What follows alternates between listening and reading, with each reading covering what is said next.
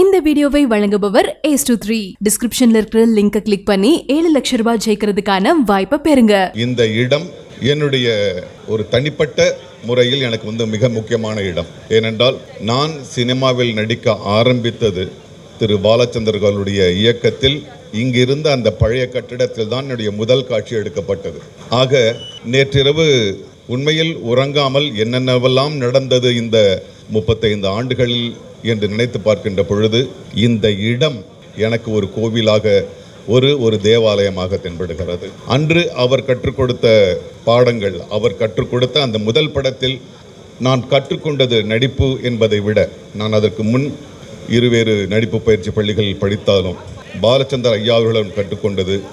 ஒரு படப்பிடிப்பு தளத்தில் ஒரு நடிகன் எப்படி இருக்க வேண்டும் என்பதைத்தான் நான் அவரிடம் முக்கியமாக கற்றுக்கொண்டேன்.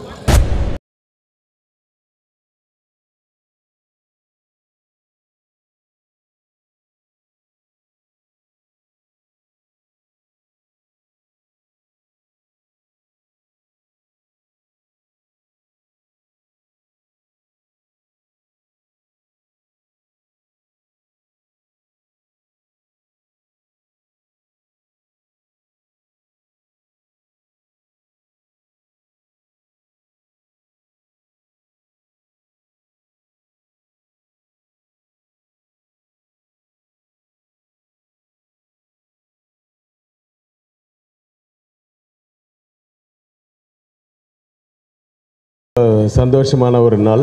இந்த இடம் வந்து நிறைய பேருக்கு புதுசாக தெரியலாம். பட் எனக்கு வந்து இருபத்தஞ்சி வருஷத்துக்கு முன்னாடி நான் முதல் முதல் கமல் சாரை வந்து இந்த ஆஃபீஸில் தான் இங்கே வந்து அப்போ பழைய பில்டிங் இருந்தது. இந்த ஆஃபீஸில் தான் வந்து மீட் பண்ணி இங்கே தான் அபய் முதல் முதல் அவருடைய பண்ணுறதுக்கு எனக்கு ஒரு வாய்ப்பு கிடச்சிது. நாசர் சார் சொன்ன மாதிரி அவர்கிட்ட நிறைய பேர் வரவங்க எல்லாருமே நிறைய கற்றுப்பாங்க ஸோ குருவுக்கு சிலை திறந்த one of my guru Thiru Kamal சாருக்கு என்னுடைய நன்றி அண்ட் வணக்கம். தமிழ் திரைப்பட இயக்குனர்கள் சங்கம் அது தட் இஸ் அந்த ஒரு இதில் வந்து ரொம்ப கொஞ்சம் நெருக்கமாக பழகிற சந்தர்ப்பம் இருந்தது. ஆனால் அவருக்கே ஒரு படம் பண்ணக்கூடிய எனக்கு ஒரு வாய்ப்பு வந்து திரு ரஜினி சார் அவர் தான் முத்து மூலிமா எனக்கு ஏற்படுத்தி கொடுத்தாரு. காலங்கள் எவ்வளோ மாறிடுச்சுன்றதுக்கு வந்து ஒரு சின்ன உதாரணம் சொல்லணும்னா எனக்கு சம்பளம் பேசுகிறதுக்காக முதல்ல வந்து கதை சொல்லியாச்சு கதையெல்லாம் பிடிச்சாச்சு. அவர் ப்ரொடியூசர் சம்பளம் பேசினா ரவி இவன் ஆஃபீஸ்க்கு அப்படின்னாரு. நான் வந்து அவர்கிட்டலாம் சம்பளம்லாம் பேச மாட்டேன். சார் நீங்களே சொல்லிவிடுங்க சார் நான் ரஜினி சார்கிட்ட சொன்னேன். அவர் நீங்கள் இப்போ என்ன வாங்குறீங்க? அப்படின்னாரு. நான் டுவெல் லேக்ஸ் வாங்குறேன் சார். சரி ஓகே இந்த படத்தில் நீங்கள் ஃபிஃப்டீன் லேக்ஸ் வாங்கிக்கங்கன்னு சொல்லிட்டு எழுதி கொடுத்து அனுப்பிச்சிட்டாரு. அவர் பேப்பர் அதை போகிறவொடனே எத்தனாவது படையா பண்ணுற நீ? அப்படின்னாரு சார் இது வந்து பதிமூணாவது படம் சார். ஐயோ நான் எழுபத்தஞ்சு படம் பண்ணிட்டேயா இது வரைக்கும் பத்து லட்சமே நான் பார்த்ததில்ல. என்ன பதினஞ்சு லட்சம் கேட்குறேன். அவருக்கு எவ்வளோ ஒரு பெரிய பேஷன் இருந்ததுன்னா அந்த அவ்வளோ படங்கள் எழுபத்தஞ்சு படங்கள் சாதாரண அமௌண்ட்டுக்கும் அந்தையே வந்து அவருடைய அந்த கலைக்காந்திரான ஒரு நிறுவனத்து மூலயமா அதெல்லாம் பணம் போனாலும் பரவாயில்ல அப்படின்ட்டு எவ்வளோ கொடுத்துருக்காரு. ஸோ அதெல்லாம் இன்றைக்கி வந்து கோடிகள் கோடிகளுக்கெல்லாம் வருது அவருடைய படங்கள் அவருடைய காவியங்கள்லாம். ஸோ அவர் மூலிமா வந்த இந்த இருவர் இங்கே உட்காந்துருக்காங்க மிகப்பெரியவர்கள். அவங்க இன்றைக்கி சினிமா மட்டும் இல்லை அரசியலுக்கும் போகிறாங்க எல்லாரோடையும் சேர்ந்து நானும் வாழ்த்துக்கள் சொல்கிறேன் நாங்கள்லாம் படத்தில் ஆக்ட் பண்ணோம் டைரக்ட் பண்ணோம் அப்படின்னு ஆசைப்பட்டது காரணமே இவங்க எல்லாரும் தான். சரி நாங்களாம் சினிமாவில் காரணமே இவங்க தாங்க. இவங்க பண்ண படங்கள் தான். நியூட்டன் சொன்னால் I see very far because I am standing on shoulder of a giant அப்படின்னு. இந்த ஜெயண்ட்ஸ் ஷோல்டர் மேலே தான் நாங்களாம் பார்க்கறதுனால தான் சினிமா மேலே அவ்வளோ தீவிரமான ஆசை வந்தது காரணமே and to top it all KB sir KV sir வந்துங்க அவர் சொன்ன பல விஷயங்களில் நாங்கள் எவ்ரிடே கமல் சார் நான் எல்லாருமே அதை யூஸ் பண்ணிட்டே இருப்போம். அவர் சொல்லுவார் to bore an audience is a கிரைம்டா அப்படின்னு ஒரு ஆடியன்ஸை போர் பண்ணுறத விட ஒரு பெரிய கிரைமே இல்லை அப்படின்னு அவர்.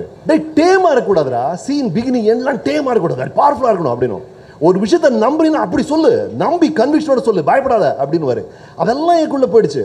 கமல் சார்கிட்ட வந்தோம். கமல் சார் வந்து மெனக்கடணும் Ramesh no pain no gain சும்மா எல்லாம் பண்ணக்கூடாது. எல்லாம் detail you should look into detail அவங்க சொன்னதெல்லாம் அப்படியே ஜஸ்ட் அப்படியே ஸ்பாஞ்ச் மாதிரி அப்சர்வ் பண்ணி நாங்கள் ஏதோ பண்ணிட்டு இருக்கோம். And KB sir Kamal sir இந்த ரிலேஷன்ஷிப் இட் இஸ் ஸோ ஃபென்டாஸ்டிக்குங்க நான் பெங்களூர்லேருந்து வருவேன். நானும் கமல் சார் ஒரு அஞ்சாறு ஹவர்ஸ் பேசிட்டே இருப்போம். நடுவில் சாப்பாடு சாப்பிடும். அவரோட ஒரு ஆயிரம் வாட்டி நான் லஞ்ச் சாப்பிட்ருப்பேன் அந்த லஞ்சும் போதெல்லாம் வேற ஒரு விஷயம் பேசுவார் அவர். திடீர்னு ஒரு டாவின்சி பற்றி பேசுவார் சிலப்பதிகாரம் பேசுவார் பிட்காயின் பற்றி பேசுவார் பிளாக் செயின் பேசுவார். என்ன பேசினாலும் அந்த ஆயிரம் லஞ்சுலிங்க this is not an exaggeration every conversation had a mention of KB அதான் சத்தியம். KB sir is a big part of Kamal sir psyche அவருக்கே அது தெரியாது. நான் பார்த்துட்டே இருப்பேன். Every conversation will have a mention of KB in some way KB sir reference இல்லாமல் ஒரு கான்வர்சேஷன் கூட நான் பண்ணதே கிடையாது. அந்த அளவுக்கு KB sir was a part of is psyche அதனால தான் this is the logical end இந்த statue in front of Rajkamal is a logical end to is because KB sir is occupied so much of space head space எனக்கு தெரியும். The respect KP சாருக்கு அவருக்கு அவர் மனசில் அவர் ஒவ்வொரு வாட்டி கேபி சார் பற்றி பேசும்போது the love this man has so glad sir that ஏன்னா நான் ராஜ்கமல் சார் அந்த ஆஃபீஸில் கமல் சாரோட அம்மாவோட ஒரு பஸ் சைஸ் ஒரு ஒரு ஸ்டாச்சு இருக்கும். அதை நாங்கள் பார்த்துருக்கேன் அந்த ஆஃபீஸில் இப்போ அவரோட அப்பப்போ சொல்லிட்டே இருப்பார் கேவி சார் எனக்கு அப்பா மாதிரின்னு அந்த ஸ்டாச்சு இங்கே இருக்கு. So nice of this day sir Rajkamal office வந்து எனக்கு சதிலீலாவத்துக்கு கூப்பிடும்போது எனக்கு செக் கொடுத்தாங்க. நான் ஃபோன் பண்ணேன் டிஎன்எஸ் சார் சார் தயவு செஞ்சு சார் நான் ஃபஸ்ட் டைம் உங்கள் ஆஃபீஸ்லேயும் செக் வாங்கினேன். அந்த கமல் சார் கையில் வாங்கணும்னு ஆசைப்பட்றேன் அப்படின்னு. சரி பையனை ஈவினிங் வர சொல்லுங்கள் ஆஃபீஸுக்கு அப்படின்னாரு. ஈவினிங் இதே இடத்துல அந்த ஆஃபீஸில் ஃபஸ்ட் டைம் ராஜ்கமல் என்ட்ராகி கமல் சார் கையில் அந்த செக் வாங்கினது நினைப்பாருது. அதுக்கப்புறம் all those wonderful moments we had a company is only as good at its culture and as its leader அந்த கல்ச்சர் தான் ராஜ்கமல் காசு பேசுனதே கிடையாது. ஆட்டோமேட்டிக்காக செக் வந்து எங்கள் வீட்டுக்கு வரும். அந்த இன்டெகிரிட்டி அந்த ப்ரொஃபஷனல் எத்திக்ஸ் தான் made Rajkamal so big apart from the huge taste they have and to top it all Kamal sir Kamal sir வந்து நம்ம ஒரு நடிகராக பார்த்துருக்கோம் டைரக்டராக பார்த்துருக்கோம் கோரியோகிராஃப் பார்த்துருக்கோம். இப்போ ஒரு வெல் மீனிங் அரசியல்வாதியாக பார்த்துருக்கோம். Whatever the brand whatever it is அந்த யூஎஸ்பி என்ன? அந்த பிராண்டோட யூஎஸ்பி என்ன? அந்த யூனிக் செல்லிங் ப்ரொமோஷன் என்ன நீங்கள் பார்த்தீங்கன்னா commitment to எக்ஸலன்ஸுங்க sir thank you so much you are such a great force in my life and such a singular force in Indian cinema thanks for everything thank you all thank you இது வந்து இன்னைக்கு ஒரு மிகவும் நிகழ்ச்சியான ஒரு தருணம். In fact அப்பா அவங்க பார்த்தபோது என் கண் அறியாமல் என் கண்ணில் இருந்து இவ்வளோ தண்ணி வந்தது. I know the relationship between Kamal sir and my father அவங்க ரெண்டு பேரும் முதல்ல வந்து அவர் குரு மென்டார் சொன்னாங்க. That is a very natural way of starting a relationship அதுக்கப்புறம் பார்த்தீங்கன்னா இவரோட திறமை வளர வளர அவர் வந்து ஒரு பையனை பார்த்து பெருமைப்படுற அந்த ஸ்டே ஸ்டேஜுக்கு தான் அவர் போனார். ஸோ தள்ளி இருந்தே பார்ப்பார். தப்பு பண்ணால் எங்கேயா ப்ரைவேட்டாக கூப்பிட்டு கண்டிப்பார். அவங்களுக்குள்ளே இருக்கிற அத்தனை லெட்டர்ஸ் அதெல்லாம் இன்னும் அப்பா வந்து ப்ரெஷியஸாக வச்சுருக்கார். விஐபி லெட்டர்ஸ் அப்படிங்கிறதுல maximum letters to Kamal sir and his replies to him so அதெல்லாம் பார்க்கும்பொழுது இந்த ரிலேஷன்ஷிப்போட ஒரு டைமென்ஷன்ஸ் நினைக்கும் போது ரொம்ப ஒரு ஆச்சரியமாக இருக்குது அண்ட் இந்த லாஸ்ட் ஸ்டேஜஸ் அப்பா என்ன பண்ணாலும் கமல் அதை பாராட்டணும்னு அவர் நினைச்சாருன்னு நினைக்கிறேன். Who has so much of talent acting talent in him so அந்த ரிலேஷன்ஷிப்போட பியூட்டி வந்து பக்கத்தில் இருந்து பார்த்துட்டே இருந்தால் ரொம்ப பிரமாதமாக நீங்கள் உங்களுக்கு எல்லாருக்குமே புரியும். I think Anand sir is one example who would have realised everything but இன்னைக்கு அவர் இல்லை அன்ஃபார்ச்சுனேட்லி ஸோ அவர் இருந்தால் இன்னும் இந்த ரிலேஷன்ஷிப்போட டைமென்ஷன்ஸ் அவரால் நல்லா கொண்டு வந்திருக்க முடியும்.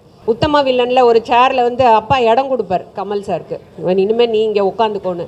I think that was that is a very symbolic screenplay which hit it and every time Kamal வந்து சொல்லும்பொழுது எங்கள் அப்பாவுக்கு என்ன பரமக்குடியில் அந்த அப்பாவுக்கு வச்சுட்டேன். இங்கே வந்து எங்கள் அப்பாவுக்கு வைக்கணும். ஸோ நீங்கள் வரணும்னு சொன்னபோது really I felt very very thankful and no ecstasy and இன்னைக்கு அங்கே அப்பாவை பார்க்கும்போதும் I feel the same Thank you very much, Kamal sir, for this uh, wonderful uh, day in our lives today.